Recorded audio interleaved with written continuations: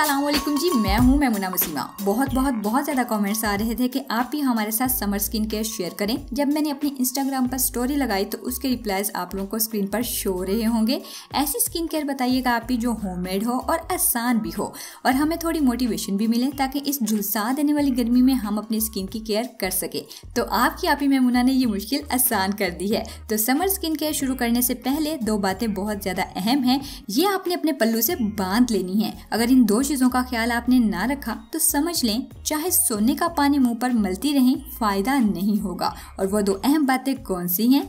Number one ज़ाहिर है गर्मी है तो इस सिचुएशन में आप अपनी स्किन को जिस कदर हो सके हीट से महफूज रखें, चाहे वो किचन की गर्मी हो या धूप की, क्योंकि 80 परसेंट लोगों के चेहरे पर फ्रैकल्स और छाइयाँ शुरू ही तब होती हैं जब वो डायरेक्ट सनलाइट में निकलते हैं, अपने फेस को नहीं ढांपते सन ब्लॉक यूज़ नहीं करते, घर वापस आकर स्किन को कूल डाउन नहीं करते, ठंडे पानी के छींटे नहीं मारते। ठंडा करने के लिए आप आलू, खीरा वगैरह काट कर भी लगा सकते हैं, इससे भी चेहरे को ठंडक मिलती है। इसके अलावा मैंने ठंडे मास्क बनाकर भी आप लोगों को दिखाए हुए हैं। उन चीज़ों को मिलाकर आइस क्यूब्स बनाकर रख लें। वापसी पर दिन में दो दफ़ा उनको अपने चेहरे पर लगाया जा सकता है। फ्रिज के अंदर अरके गुलाब की स्प्रे बॉटल भी ज़रूर रखें। वक्तन फवक्तन उठाकर स्प्रे किया जा सकता है। दूसरी बात। जैसे ही गर्मी शुरू होती है, रूटीन हमारी सर्दी वाली चल रही होती है। मसलन गर्म अशिया का इस्तेमाल और ज़्यादा नमक वाली चीज़ें। गर्मी में ज़्यादा नमक का इस्तेमाल हमारे स्किन को डिहाइड्रेशन की तरफ़ ले जाता है। मसलन चाय, कॉफ़ी मसाले वाली चीज़ें, तली हुई चीज़ें और अचार वगैरह हमारे जिसम के अंदर भी हीट पैदा करते हैं और बाहर भी गर्मी होती है, जिसकी वजह से फजूल में ही पिम्पल्स और एक्नी का आ जाना स्किन का एम ही बैठे बैठे सुरख और हीट हो जाना और बाद में मेलानिन का इकट्ठा होकर छाइयों की शक्ल इख्तियार कर लेना। इसके साथ साथ इन सारी चीज़ों से अवॉइड करके हम ओपन पोर्स के इश्यूज़ से भी बच सकते हैं, जो बाद में सर्दी आने पर ब्लैक हेड्स और व्हाइट हेड्स में तब्दील हो जाते हैं। ये थे जी दो मेन इश्यूज़ जो मैंने डिस्कस करना बहुत ज़रूरी समझे। अब बढ़ते हैं जी आगे। आज के स्किन केयर को आप होम मेड समर फेशियल भी कह सकते हैं। सबसे पहले आपको बनाकर दिखाऊँगी बहुत ही आसान फेस वॉश जो गर्मी के हवाले से बहुत बेहतरीन वर्क करेगा और तमाम किस्म की स्किन्स पर सूटेबल रहेगा। एक चम्मच कॉफ़ी लेंगे कॉफ़ी आपने गर्मियों में सिर्फ़ पीना कम करनी है, लगाना बिल्कुल नहीं छोड़नी। और इसमें मिला लेंगे थोड़ा सा अर्के गुलाब, यानी रोज वाटर अब ये एक बड़ा ही बेहतरीन फेस वॉश बन चुका है, जो आपकी स्किन को बहुत अच्छे से एक्सफोलिएट करेगा, निखारेगा फेस को पोर्स को क्लींस करेगा इम्प्यूरिटीज और डेड स्किन सेल्स को रिमूव करेगा और एक बेहतरीन एंटीऑक्सीडेंट साबित होगा। और रोज वाटर का तो आपको पता ही है रेगुलर स्किन केयर का बहुत ही खूबसूरत पार्ट है। स्किन को कूलिंग इफ़ेक्ट देने के साथ साथ एक्नी और पिंपल्स से भी महफूज रखता है। सो, इस वक्त मेरे ख्याल में इससे ज़्यादा सादा, आसान और इफ़ेक्टिव फेस वॉश नहीं बन सकता। स्क्रब गर्मियों में आपको मॉइस्चराइजर क्लिनजिंग और टोनर के साथ साथ स्क्रब की भी ज़रूरत रह सकती है। तो जिन मेरी बहनों की स्किन ड्राई है, मेरी तरह, और वो एक्सफोलिएशन भी करना चाहती हैं तो उनके लिए बेहतरीन एक्सफोलिएटर है नमक और दूध। ये आपके डार्क स्पॉट्स को भी और पिगमेंटेशन को भी खत्म करने के लिए यूजफुल स्क्रब साबित हो सकता है। इन दोनों चीज़ों को मिक्स करके वो अपनी स्किन की एक्सफोलिएशन कर सकते हैं, लेकिन इसमें आपने एक बात का खास ख्याल रखना है कि स्किन पर कोई कट वगैरह ना हो और ना ही आपकी स्किन पर कोई एक्नी वकनी हो। और स्क्रबिंग भी बहुत ही जेंटली करनी है। नमक आपकी स्किन पर गर्मियों में पनपने वाले बैक्टीरिया को किल करने का, जो बिला वजह की एक्नी और पिंपल्स का बायस बनते हैं। और दूध का एडिशन नमक की हार्शनेस को कम करके सूदिंग बनाएगा। और दूध में मौजूद लैक्टिक एसिड स्किन पर मौजूद सन बर्न और अनवांटेड पिगमेंटेशन को भी खत्म करेगा। और अगर आपकी स्किन ऑयली हो तो सिंपली एक टमाटर लें, उसे दरमियान से काट लें। कुछ इस तरह से चीनी में डिप करें और पूरे फेस की स्क्रबिंग कर लें। टमाटर का सबसे बड़ा फ़ायदा यह है कि ये ऑयलीनेस को रिड्यूस करता है और कुदरती सन प्रोटेक्शन भी फराहम करता है। इसके अलावा स्किन को यूथफुल ग्लो भी प्रोवाइड करता है।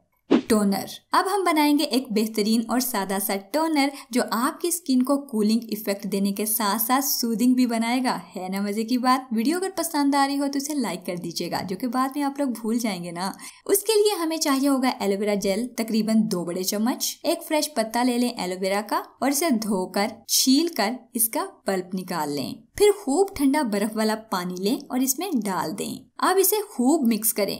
बल्कि फेंट लें हती कि ये दोनों चीज़ें अच्छी तरीके से मिक्स हो जाएँ। फिर इसे किसी भी स्प्रे बोतल में डालकर फ्रिज के अंदर रख दें और चलते फिरते जब भी ज़रूरत हो निकाल कर कॉटन पैड से अप्लाई करें या फिर डायरेक्ट अपनी स्किन के ऊपर स्प्रे भी किया जा सकता है ये toner for all skin types useful है। इसे पूरी गर्मियाँ इस्तेमाल करें। आपको हर तरह के सनबर्न और रैशेज और रेडनेस से प्रोटेक्ट करेगा।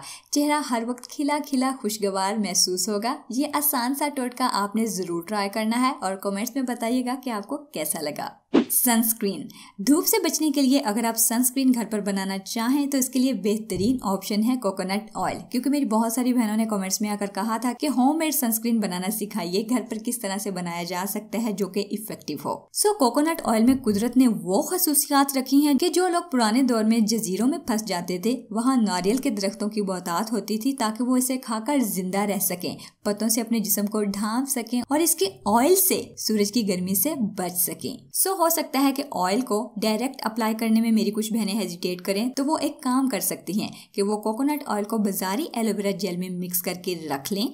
ये इसके साथ मिक्स होकर जेल किसी सूरत में आ जाएगा, फिर इसे इजीली स्किन पर यूज़ किया जा सकता है। बल्कि कोकोनट ऑयल के साथ साथ एलोवेरा की प्रॉपर्टीज़ भी शामिल हो जाएँगी आपके सनस्क्रीन में। ग्लोइंग मास्क इसके साथ साथ जी, मैं लगते हाथ आपको एक बेहतरीन ग्लोइंग मास्क भी बनाना बता देती हूँ, जिसको बनाने के लिए सिर्फ़ आपको दो चीज़ें चाहिए होंगी। एक, मुल्तानी मट्टी और दूसरी, दही। मुल्तानी मट्टी के गर्मियों में किस कदर फवायद हैं, इसका शायद ही आप अंदाज़ा लगा सकें। एक तो ये मट्टी ठंडी होती है, सभी को पता है, और दूसरा एक्सेसिव ऑयल को एब्जॉर्ब करने की भी पावर रखती है। ये मट्टी इंतहाई किस्म की देसी और नेचुरल चीज़ है। अगर आपको कहीं से ऑर्गेनिक चीज़ों की या रेमेडीज की कोई बुक मिले तो उसका आगाज़ ही मुल्तानी मट्टी से होगा। जिसको कुछ ना मिले, उसको मुल्तानी मट्टी ही बहुत है। ये क्लॉक्ड पोर्स को क्लीन करने और इम्प्यूरिटीज को रिमूव करने के लिए बेहतरीन चीज़ है। और स्किन टोन को लाइटन करने कॉम्प्लेक्शन को इम्प्रूव करने के लिए बहुत कमाल की चीज़ मानी जाती है। सो हर दो दिन बाद आप इसे दही में मिक्स करके चेहरे पर लेप कर सकते हैं। आप यकीन करें, आपको बहुत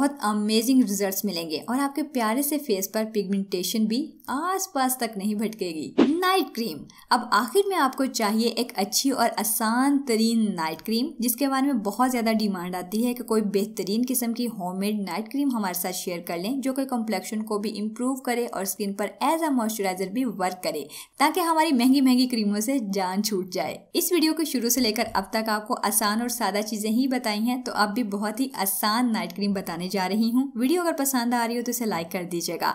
हमारी नाइट क्रीम या नाइट मॉइस्चराइजर कह लें, सिर्फ़ दो चीज़ों से ही बनकर तैयार हो जानी है। एक, बाजारी एलोवेरा जेल और दूसरी ग्लिसरीन एलोवेरा जेल आप प्रॉपर बनाकर भी घर पर रख सकते हैं। अगर पूरी वीडियो देखना चाहें तो एलोवेरा जेल मेमूना लिखकर सर्च कीजिएगा, वीडियो मिल जाएगी। इसी तरह ग्लिसरीन मेमूना लिखकर सर्च कीजिए, उसकी भी वीडियो मिल जानी है। इन दोनों को मिक्स करके आप किसी कंटेनर में डालकर सेव कर सकते हैं। और रात को सोने से पहले धुले हुए साफ़ फेस के ऊपर अप्लाई कर लेनी है। स्किन को सारी रात हाइड्रेट रखेगी महँगी महँगी क्रीमों से जान छूट जाएगी। बनाना इजी लगाना इजी फ़ायदे बेशुमार और ऑल स्किन टाइप्स पर यूज़ कर सकते हैं। ये था जी आने वाली गर्मियों का बेहतरीन इलाज, ताकि आपकी स्किन रहे सॉफ्ट लाइटन और फ्रेश अगर आप इस स्किन केयर को प्रॉपर फॉलो करेंगे तो फ्रैकल्स पिगमेंटेशन जैसी मुसीबतों से जान छूटी रहेगी। बहुत उम्मीद करती हूँ कि वीडियो आपको पसंद आई होगी। अगर ऐसा हो तो आपको पता ही है कि क्या करना है। लाइक के साथ साथ शेयर ज़रूर कीजिएगा हमें एम ही किसी के व्हाट्सएप पे कर दें और मेरे चैनल को सब्सक्राइब कीजिए ताकि हम रोज रोज मिलते रहें। Thank you